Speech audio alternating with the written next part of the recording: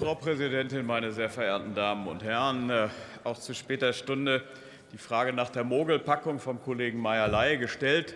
Man könnte jetzt sagen, die größte Mogelpackung ist keinesfalls Rama, sondern die Ampel.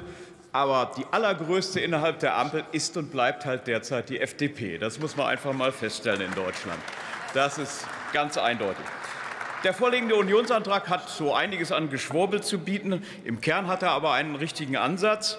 Äh, verbraucherpolitische Problem der Mogelpackung, das sehen wir durchaus.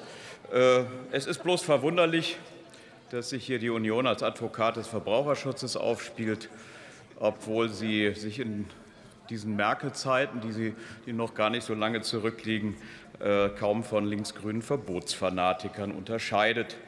Das hat man auch jetzt wieder beobachten dürfen, und zwar bei den sogenannten Reparaturrichtlinie, die die EU-Kommission unter Vorsitz ihrer CDU-Kollegin Ursula von der Leyen vorgelegt hat. Diese Richtlinie nimmt dem Verbraucher im Schadensfall das Wahlrecht zwischen Reparatur und einem neuen Gerät, ein massiver Eingriff in die Rechte der Verbraucher. Dass die Union hier im Bundestag gegen Mogelpackungen vorgehen will, ist wie gesagt löblich, aber auch gelinde gesagt heuchlerisch, denn das Unheil hat auch in diesem Fall mal wieder seinen Ausgang in Brüssel genommen, tatkräftig unterstützt von der EVP-Fraktion, in der die Union nun mal sitzt.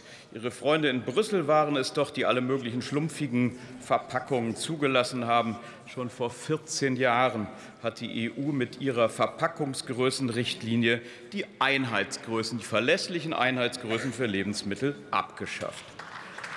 In den letzten Jahren wurden zunehmend minderwertige Pflanzenreste mit hochwertigem Fleisch gleichgestellt. Die CDU scheint sich endgültig dem Vegan-Hype angeschlossen zu haben. Und sogar bei den völlig irren Insektenpulverideen der linksgrünen EU-Bürokraten mischt die CDU mit.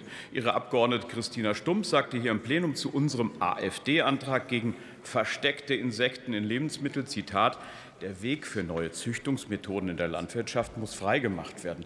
Landwirtinnen und Landwirte brauchen keine schlecht gemeinten Ratschläge aus der rechten Ecke. Das war erst vor einem Monat. So sieht die Realität in der CDU aus. Wer keine Insekten essen will, ist also ein böser Rechter. Ich zitiere aus dem Antrag. Preismengenanpassungen, so heißt es da, sind in einer freien Marktwirtschaft zweifelsohne zulässig. Wie gnädig. Vielen lieben Dank für diese Erläuterung.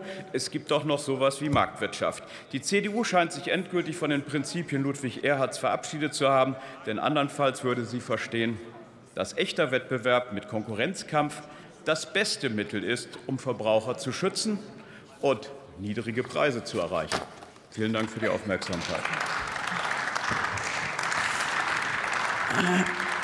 Und für die Unionsfraktion hat das Wort Dr. Anja Weisgerber.